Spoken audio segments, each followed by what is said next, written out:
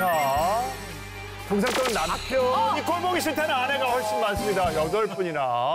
아니 최영림 씨는 본인은 그렇게 생각하시지 않잖아요. 어, 저, 저 고민 되게 많이 했거든요. 네. 남자인데. 저는 사실 남자한테 내한 돈 없으면 빌려서라도 쓰는 스타일이에요. 그렇죠. 그리고 아빠가 다 쓰는 모습만 보셨고. 저는 정말 돈을 빌려서라도 써야 되는 성격이라서 궁산 떠난 거 자체도 싫고 아 최영민이가 저렇게 이렇게 없어 보이지 이런 느낌 받는 것도 싫고 근데 되게 싫은데 그렇게 인생을 살다 보니까 힘들더라고요. 내가 정말 돈이 필요할 때 어, 궁상을 안, 안 떨고 막 살았던 건 화려했었는데 내가 그 시기에 좀 궁상을 떨었으면 내가 정말 어려운 시기에 남한테 손 안 내밀고 비굴하지 않았을 때라는 생각이 너무 드는 거야.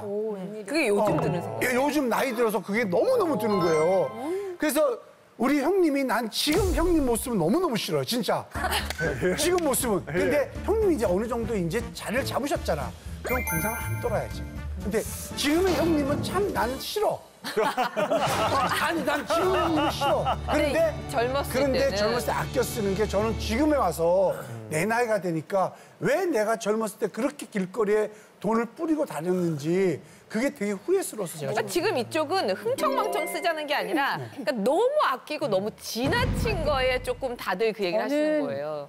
야구 팬 선- 김보영 선생님 너무나 팬이었고 너무 잘 알죠. 그 김병원 선생님이 절약하고 아껴 쓰는 거는 금수저 수저를 떠나서 굉장히 유명한 집이었는데 12남매의 그러니까요. 생계를 다 책임지고 예. 일남매. 11남매. 네. 동생들 다 학비랑 학비 예, 다 맞아요. 써서 예, 예. 그게 이제 체화되신 거예요. 공상이 아니라 그리고 그 무렵은 누구나 다 가난했잖아요. 왜 화장지 대신에 신문 잘라서 어지간히 살던 집에서 했던 시절 이었기 때문에 근데 그게 변함이 없다는 거죠. 근데 제가 안타까운 건 정말 연봉 킹뿐만 아니라 거기서 또 성공적으로 야구 선수 중에서 대학 교수 가기 힘듭니다. 얼마 전에 제가 임종을 앞두신 분들만 인터뷰한 어떤 의사 선생님의 글을 봤거든요. 다 물어봤대요. 돌아가실 게 뻔하신데 제일 아까운 아쉬운 점이 뭔가요? 그랬더니 내가 너무 궁상 떨었다고.